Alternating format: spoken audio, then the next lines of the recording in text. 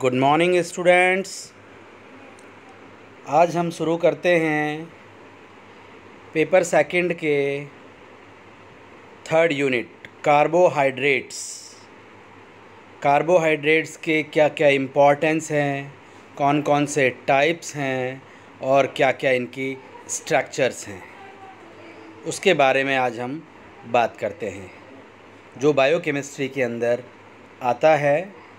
और उसके पूरी हम स्ट्रक्चर कौन कौन से जो सेक्रेट बॉन्ड्स हैं, उनके बारे में हम बात करेंगे। तो कार्बोहाइड्रेट्स क्या है? ये कार्बन के हाइड्रेट्स हैं। यानी कि, देखिए कार्बोहाइड्रेट्स क्या है? पॉलीहाइड्रोक्सिलेटेड कंपाउंड है। हाइड्रोक्सिलेटेड कंपाउंड यानी कि जिसमें वाटर का फॉर्मूला ये लागू होगा। C H two O N अगर आप देखेंगे C six H twelve O six उसको आप देखेंगे तो ये वाला फॉर्मूला उसमें फिट होगा। यानी कि कार्बन के हाइड्रेट्स हैं ये। हर कार्बोहाइड्रेट में ये फॉर्मूला फिट होगा। इज़ इट क्लियर अब polyhydroxylated compound at least three carbon atoms यानी इनके अंदर कम से कम तीन कार्बन तो होना ज़रूरी है। Three carbon compounds potentially active carbonyl group जिससे इनके अंदर क्या होना चाहिए? एक एक्टिव कार्बोनाइल ग्रुप आप जानते हैं कि दो कार्बोनाइल ग्रुप्स होते हैं एल्डिहाइड और कीटोन यानी कि या तो उसमें एल्डिहाइड ग्रुप होगा और या कीटोन ग्रुप होगा। एल्डिहाइड ग्रुप होगा तो वो बनेगी एल्डोज और कीटोन ग्रुप होगा तो वो होगी कीटोज। अब आपको मालूम होना चाहिए कि सबसे ज़्यादा जो ऑर्गेनिक कंपाउंड है, उसमें कार्बोहाइड्रेट ही होता है। प्लांट में आप देखेंगे, जितना भी रिज़र्व फ़ूड होता है, स्टार्च की फॉर्म में होता है। सेल्यूलोज, जो सेल वॉल में है, पूरा कार्बोहाइड्रेट होता है। फ्रूट्स में जो फ्रूट शुगर्स होती हैं, चाहे वो ग्लूकोज हो, फ्रुक्टोज हो, सुक्रोज हो, सभी में कार्बोहाइड्रेट होता है। और एनिमल्स के अंदर भी जो रिज़र्व फ़ूड है, वो क्या है? ग्लाइकोजन है, उस फॉर्म में भी कार्बोहाइड्रेट है, ब्लड शुगर, ग्लूकोज है। तो मोस्ट ऑफ़ जो ऑर्गेनिक कंपाउंड है, बायोमोलिक्यूल, जो मैक्रोमोलिक्यूल की कैटेगरी में आता है वो है कार्बोहाइड्रेट हम इस कार्बोहाइड्रेट में इसके वेरियस टाइप्स के बारे में बात करेंगे कौन कौन से टाइप्स के होते हैं, उनका क्या क्लासिफिकेशन है, उसे आज हम पढ़ते हैं। तो कार्बोहाइड्रेट का आप एक तो याद रखें एम्पेरिकल फार्मूला जो है C H two O N चाहे कोई भी कार्बोहाइड्रेट हो, उसमें यही फार्मूला लगेगा। इज़ इट क्लियर अब हम बात करते हैं क्लासिफिकेशन ऑफ़ कार्बोहाइड्रेट कार्बोहाइड्रेट को हम तीन मेन क्लासेस में कैटेगराइज करते हैं। जिसमें सबसे पहले होता है मोनोसेकेराइड्स मोनोसेकेराइड का मतलब वो होता है जो सिंगल यूनिट से बना होगा। यानी आगे इसका डिवीज़न या आगे ब्रेक डाउन नहीं होगा। यानी कि यही यूनिट होगी जो फंक्शनल फॉर्म में होगी। डाइसैकेराइड्स या हम इसको ब्रॉड कैटेगरी ओलिगोसैकेराइड में कैटेगराइज कर सकते हैं। आगे हम बात करेंगे। लेकिन मैं आपको यहाँ बता दूँ डाइसैकेराइड में केवल दो यूनिट होंगी मोनोसैकेराइड की। यानी कि जब दो मोनोसैकेराइड की यूनिट आपस में जुड़ जाएँगी तो क्या बन जाएँगी? डाइसैकेराइड और दो से लेके दस तक यूनिट यानी टू टू टेन यूनिट अगर जुड़ेंगी तो वो क्या कहलाते हैं? Oligosaccharides two to ten oligosaccharide बनेंगे। और टेन से ज़्यादा हो जाएगा तो वो सारे बन जाएँगे पॉलीसेकेराइड्स दस यूनिट से ज़्यादा होते ही पॉलीसेकेराइड बनेंगे। अब ये पॉलीसेकेराइड कितने टाइप के हैं? होमोपोलीसेकेराइड और हेट्रोपोलीसेकेराइड, जिनके बारे में हम डिटेल में बात करेंगे। अब हेट्रो, होमोपोलिसैकेराइड में फिर भी एक बार आपको इंट्रोड्यूस कर दूँ। होमोपोलिसैकेराइड में 10 से ज़्यादा मोनोसैकेराइड यूनिट्स होंगी और वो सारी सेम यूनिट्स होंगी। यानी ग्लूकोज है तो ग्लूकोज ग्लूकोज ही होंगी सारी। तो आप उससे क्या कहेंगे? होमोपोलिसैकेराइड।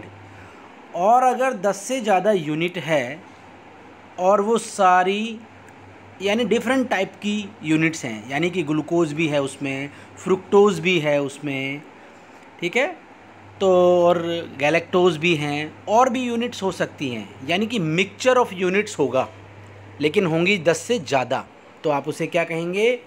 हेट्रोपोलिसैकेराइड्स जो फिर तीन टाइप में होंगी म्यूकोपोलिसैकेराइड म्यूसिलेजेस हेमिसेलुलोजेस ये सारी हम पढ़ेंगे अभी। तो उसके बाद है डेराइव्ड कार्बोहाइड्रेट। डेराइव्ड कार्बोहाइड्रेट्स क्या होते हैं कि इनसे कोई और प्रोडक्ट बन जाएँगे। और प्रोडक्ट बन जाएँगे जैसे ऑक्सीडेशन हो जाएगा और रिडक्शन हो करके जो प्रोडक्ट बनते हैं। ठीक है? तो वो डेराइव्ड कार्बोहाइड्रेट में आएँगे या उनमें अमीनो ग्रुप जुड़ जाएँगे तो कार्ब अमीनो ग्रुप्स हो जाएँगे।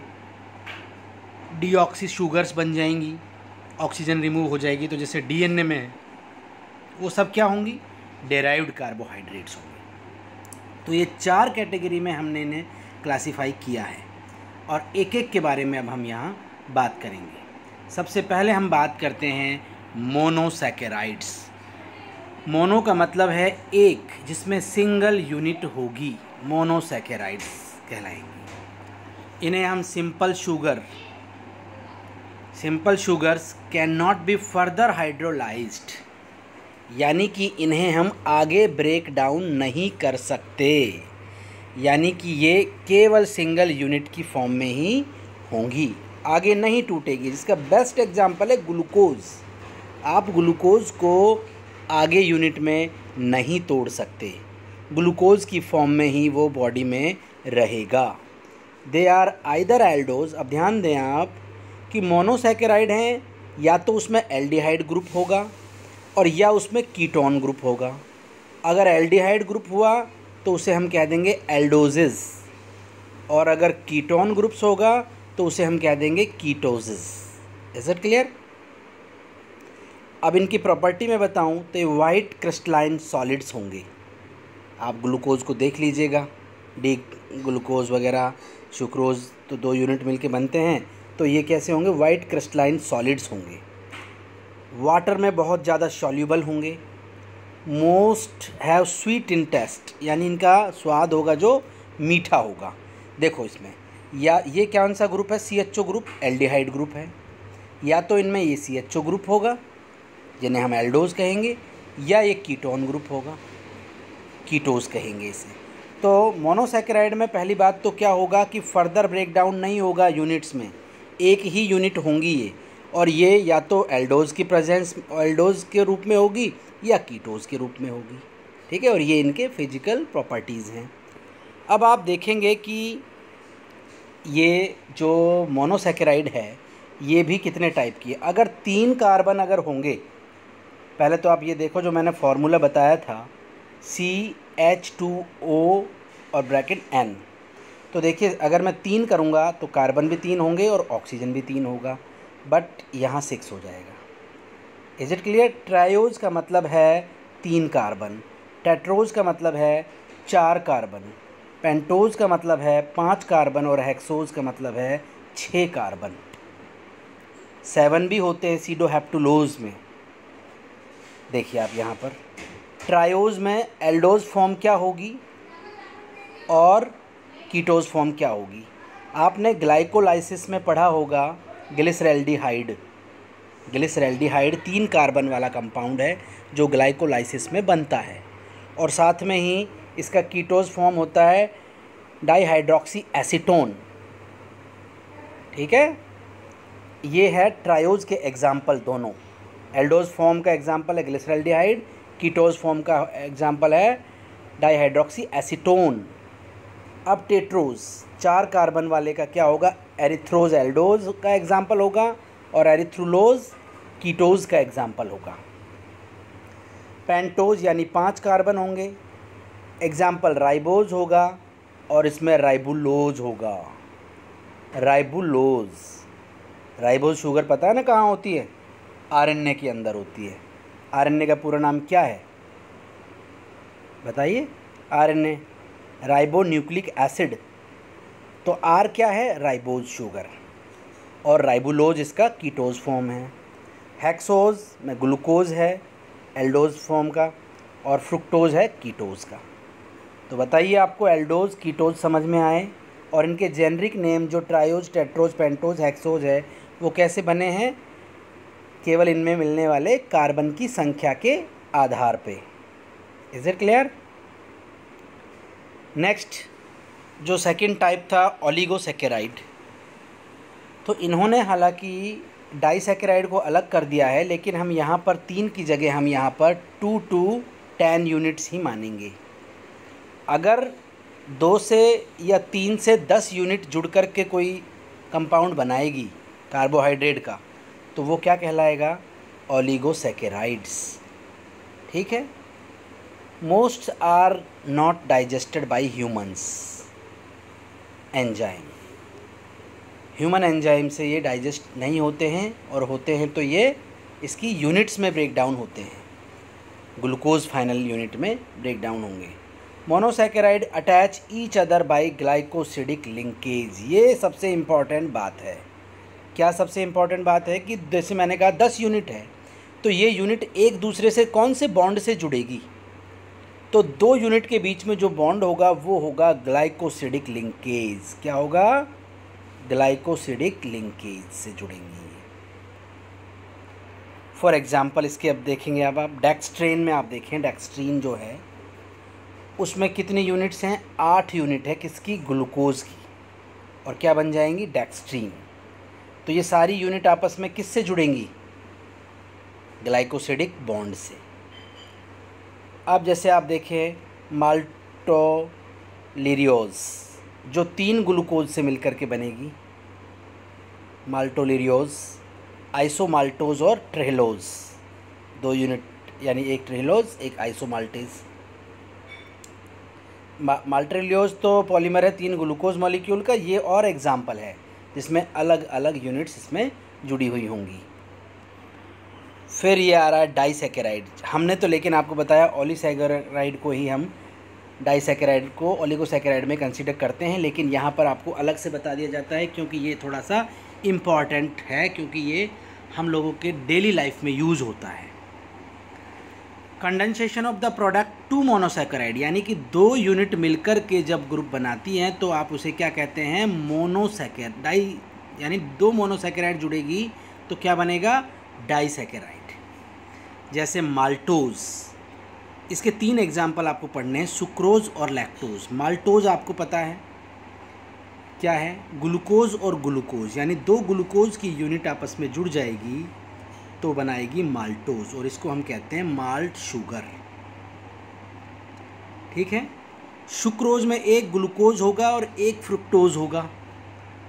तो वो क्या बनाएगी? शुक्रोज मैंने आपको बताया भी है कि जब प्लांट में जो फ़ूड बनता है, वो ग्लूकोज बनता है, लेकिन एक जगह से दूसरी जगह पर ट्रांसपोर्ट जो फ़ूड का होता है, वो किस फॉर्म में होता है? सुक्रोज की फॉर्म में होता है। जबकि लैक्टोज में क्या होता है? ठीक है तो मैंने बताया सुक्रोज कहाँ होगा? प्लांट का जो ट्रांसपोर्टिंग कार्बोहाइड्रेट है, वो होता है सुक्रोज और लैक्टोज मिल्क में होता है, जो ग्लूकोज और गैलेक्टोज के मिलने से बनता है। ठीक है? अगर आप इनको हाइड्रोलेसिस करते हो, आप इनका ब्रेक डाउन करते हो, पानी से रिएक्शन कराते हो तो ये अपनी अपनी यूनिट्स में टूट जाएगा। जैसे माल्टोज पे आपने पानी डाल दिया तो वो ग्लूकोज की दो यूनिट में टूट जाएगा। Hydrolysis of sucrose produce a mixture of glucose and fructose अगर सुक्रोज को हम ब्रेक करेंगे तो ग्लूकोज और फ्रुक्टोज में टूट जाएगा। और इन्हें हम कहते हैं invert sugar because fructose strongly laevorotatory जो अभी हम बताएँगे आपको, ये लेबोरेटरी शुगर है और एक डेक्सटेटरी शुगर होते हैं। डेक्स्टर रोटेटरी होते हैं जो।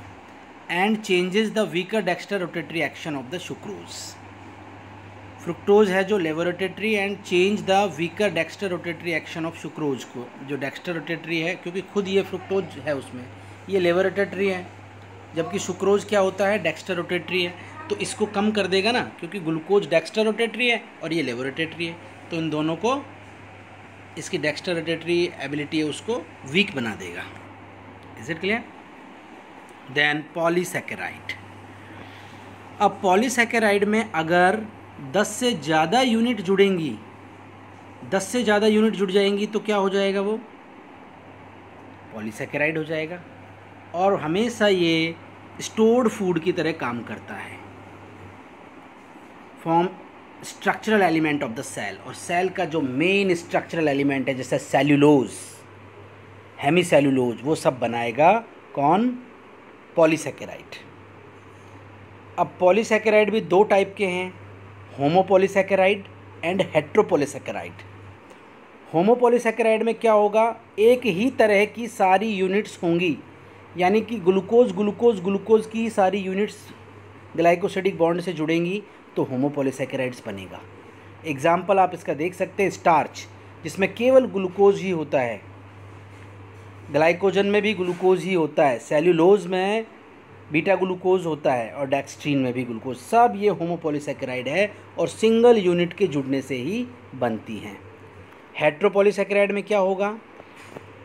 नंबर ऑफ़ डिफरेंट मोनोसेकेराइड्स यानी कि अलग अलग मोनोसेकेराइड्स होंगी।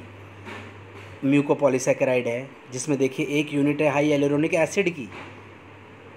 Heparin chondroitin sulphate blood group polysaccharide serum mucoid ये सारे एग्ज़ाम्पल है म्यूकोपोलीसेकेराइड के। म्यूसिलेज एगार एगार है, और वेजिट वेजिटेशल गम्स हैं वेजिटेबल गम्स हैं पैक्टिन्स हैं हेमीसेलुलोज हैं। ये सब किसके एग्ज़ाम्पल है? हेट्रोपोलीसेकेराइड के। अगर आप इनकी स्ट्रक्चर देखेंगे तो ये अलग अलग यूनिट से मिलकर के बनी हुई होंगी। तो आज के लिए इतना काफ़ी है।